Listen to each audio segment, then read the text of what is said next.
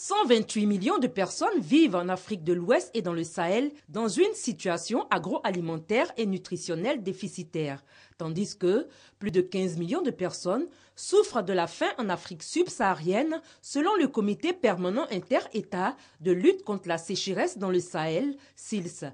Face à cette situation alarmante, la réflexion des experts pour traiter ces questions. Le club du Sahel et de l'Afrique de l'Ouest collaborent avec euh, l'Union européenne, mais aussi les États-Unis, la Banque mondiale, le système des Nations unies, pour euh, mettre sur pied l'Alliance pour la résilience de la sécurité alimentaire dans le Sahel, l'Alliance Agir. C'est une plateforme qui est à la fois nord-sud et sud-sud, et qui a de ce fait une capacité unique pour organiser un bon dialogue politique concernant la lutte contre la faim. La semaine du Sahel et de l'Afrique de l'Ouest est l'occasion pour le réseau de prévention des crises alimentaires de faire le diagnostic de la situation agricole, alimentaire et nutritionnelle au cours de sa 29e réunion annuelle. Le ministre de l'Agriculture, Mamadou Sangafoua Koulibaly, représentant le Premier ministre Daniel Kablan Duncan à l'ouverture de cette plateforme, a affirmé la possibilité désormais d'éviter les crises dans nos régions.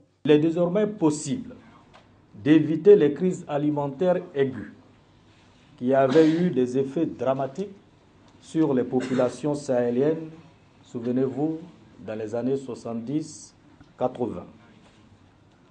Notre région, Afrique de l'Ouest et du Sud, dispose désormais d'une architecture complète. Politique et technique à même de mettre en œuvre son ambitieux agenda de sécurité alimentaire En marge de cette plateforme sur la sécurité alimentaire, le ministre de l'Agriculture a échangé avec le représentant de la Banque mondiale, Van Nieuwkoop. Ils se sont entretenus sur la redynamisation du dialogue avec la Banque mondiale sur les réformes agricoles.